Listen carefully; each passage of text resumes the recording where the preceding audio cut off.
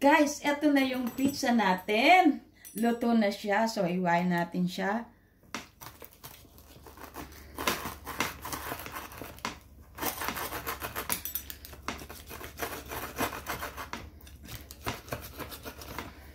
Pizza natin, guys. Ayan na siya. Ayan. Yummy, yummy, guys.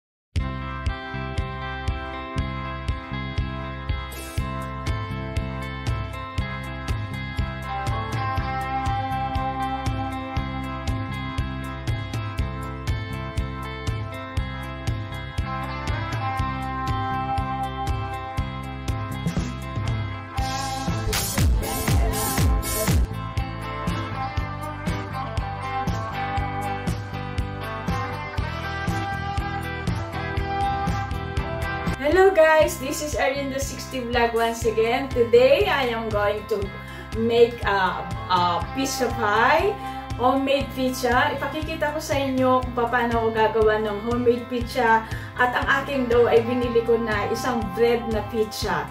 So ngayon, ipakikita ko sa inyo kung ano ang gagawin ko sa aking homemade vegetable pizza. Tara na guys, samahan nyo na ako! At kung hindi pa kayo nakasubscribe sa channel ko, please subscribe Arlinda60 Vlog. Click the bell down below so that you can follow all the notification. Tara na guys, samahan nyo na ako maggawa ng homemade pizza vegetable or, or vegetable homemade pizza. Ayan, tara na guys! So guys, this is my um, recipe for my homemade vegetable pizza. Meron na tayong uh, ready na vegetable, uh, ano dito, na dough, na uh, pizza na, na ready to use na or ready to bake na na pizza dough.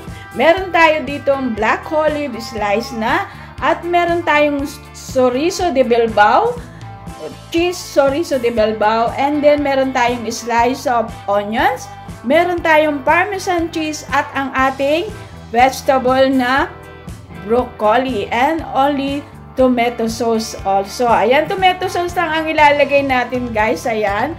At iluluto na natin ang ating vegetable homemade pizza pie. Ayan, tara na guys! Ito na yung ating pizza dough. Lalagyan lang natin siya ng tomato sauce. Itong tomato sauce na to guys ay ang ginagamit nilang ketchup dito sa New Zealand. So, hindi na kailangang lutuin kasi ito ay ketchup. Lalagyan muna natin siya ng maraming ketchup. Gusto ko marami siyang ketchup.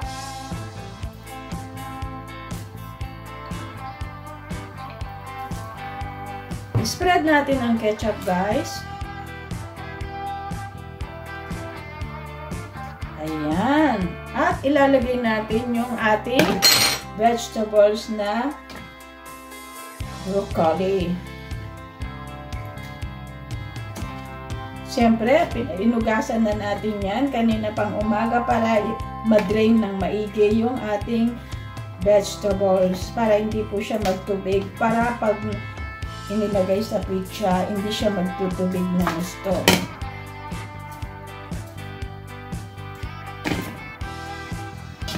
Kailangan lagyan natin ng pagitan para mailagay natin yung ating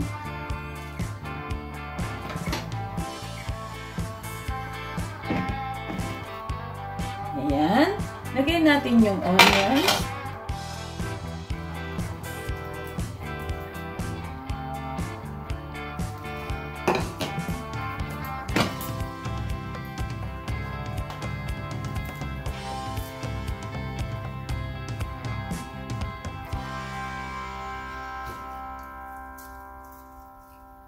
Masarap pag marami siyang onion.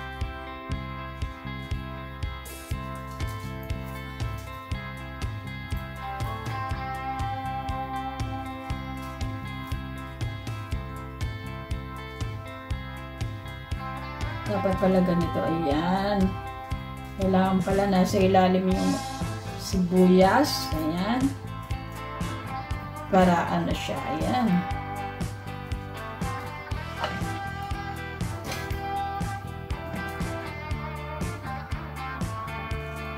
At lagyan natin siya ng olives. Gusto ko maraming olives guys. Masarap ang maraming olives sa pizza.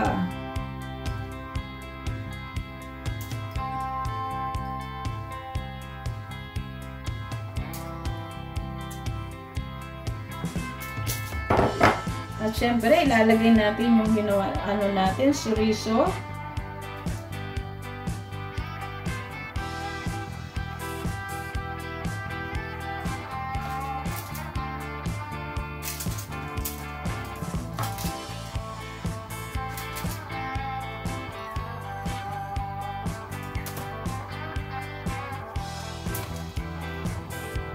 Hindi pa man guys, natatakam na ako sa ginagawa ko.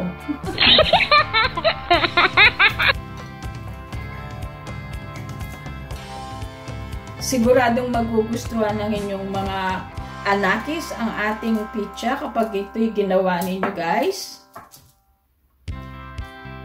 Lagi po akong nagluluto ng pizza dito dahil paborito ng partner ko ang pizza.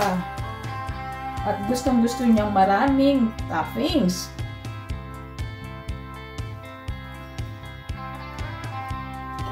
Oops.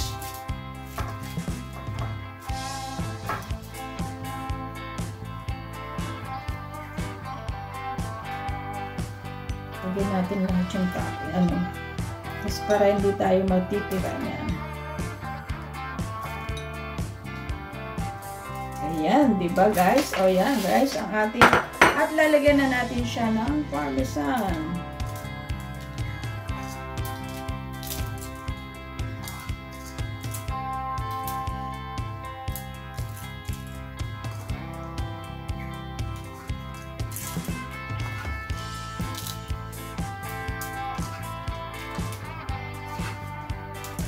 At ibibake natin siya in one, ano, sa 180 uh, degrees Fahrenheit at ng 45 minutes to 1 hour, guys. Ayan, ito na ang ating vegetable pizza, guys. Seset muna natin siya, guys.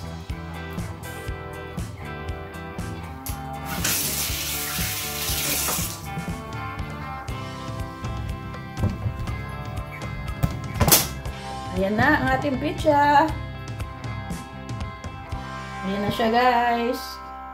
Ayan na, ang pizza natin. Lutuin na natin siya. Na po siya ng 180 uh, centigrades at 50 minutes. Ayan.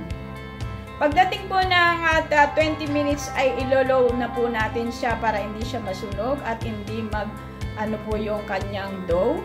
Guys, malapit na siyang maluto. Ayan. Inaan na natin ang ating oven ngayon. Guys, eto na yung pizza natin. Luto na siya. So, iwain natin siya.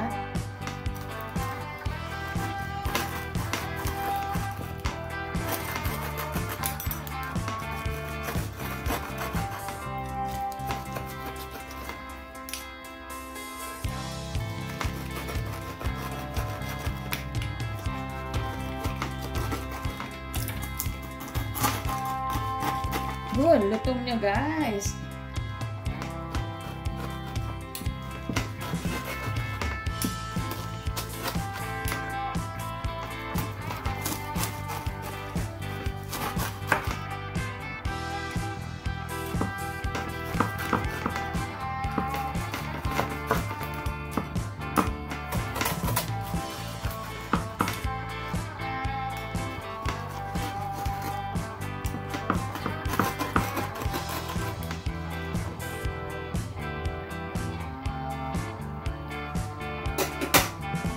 So, eto na yung pizza natin, guys. Ayan na siya. Ayan. Yummy, yummy, guys. So, tingnan nyo, guys.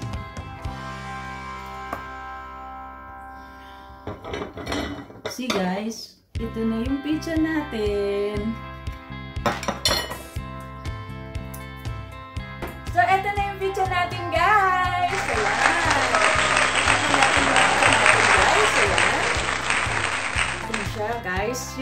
siya natin kung gaano siya kasarap. Look at that, guys.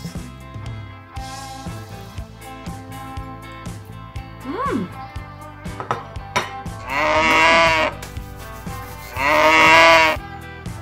Ang sarap niya!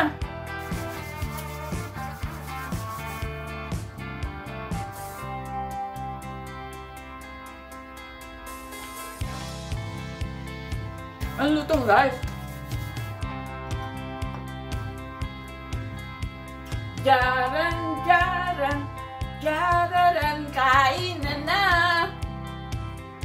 So, ayan guys. Thank you very much for to all my subscribers. Thank you, thank you very much to all my super chatter. Thank you, thank you very much to all my members. Make Mega mega shout out to all of you. Make Mega mega shout out to all my family in the Philippines and to all my sons wherever you are. I love you all guys. I love you my family and to all my siblings, my grandchildren, especially to my uh, family here, uh, my partner. Thank you, thank you, thank you, thank you very much to Makati family. And thank you, thank you very much also to my loving David Makati. And to all my friends in YouTube, thank you, thank you very much. To all my friends in Facebook page, thank you, thank you very much. I love you all. Bye-bye. Kain na na guys! Kain na na!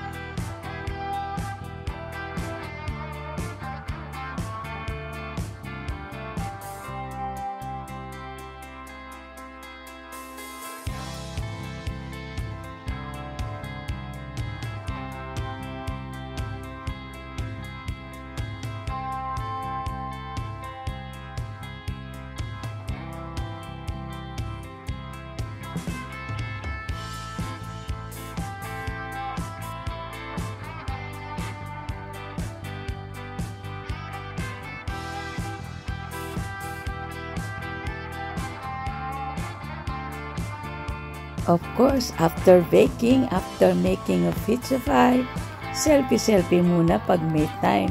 Pa-smile-smile at syempre, inspired ka sa iyong buhay at be happy. God bless you all. I love you all. Bye-bye.